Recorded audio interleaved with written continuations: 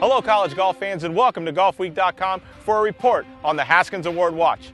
We are now just a couple of weeks away from conference championships swinging into full gear, and those results over the next few weeks are going to play a big role in deciding which player gets the vote to be named the 2014 Haskins Award winner.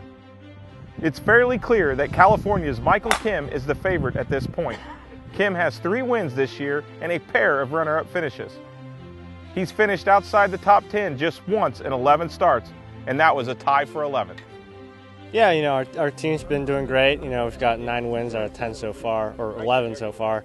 And uh, for me individually, you know, um, trying not to think about that, you know, too much.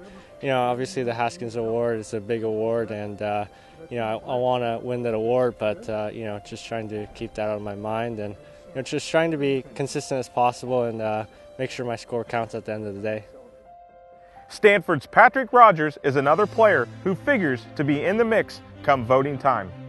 What a tremendous honor it would be to win that award. Um, I know it's one of the highest honors in college golf, and if you win that award, then you really played well for an entire season, and uh, you earn the respect of your peers. So uh, that's that would be a tremendous honor.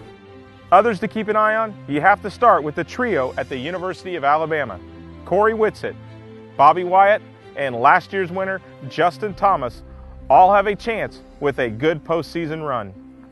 TCU's Julien Brun and North Carolina State's Alvin Choi also will have a chance to make a statement in the coming weeks, as will any player who has had a good year that can find multiple wins from this point on.